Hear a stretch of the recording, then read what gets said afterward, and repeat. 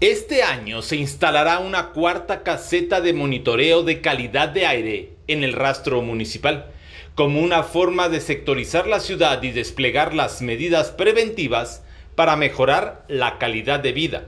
Con ello se tendrá una en el Tecnológico de Celaya, otra en la colonia San Juanico y una en la Comandancia de Seguridad Pública de la zona centro, explicó Gastón Peña Maldonado, director de Medio Ambiente en Celaya. Ya estamos a punto de subirla al sistema estatal, ya estamos en las fases terminales, ya está casi lista y yo creo que pronto ya el gobierno del estado ya subirá su sistema, esta caseta que se encuentra al sur de la ciudad y que está en el, en el rastro municipal. El ejemplo es San Juanico, perdón, este residencial tecnológico.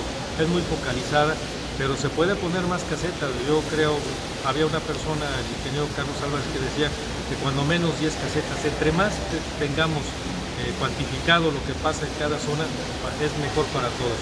Ahora tenemos tres, pronto cuatro, pero son independientes o son, tienen un radio de 2, 3, 5 kilómetros máximo en el radio en donde pueden tener las mediciones.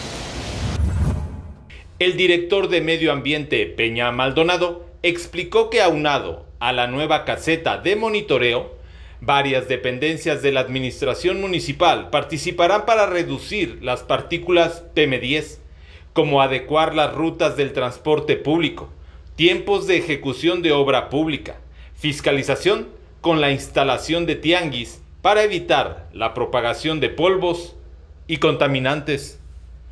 Noticieros Expresa TV, Ricardo Cárdenas.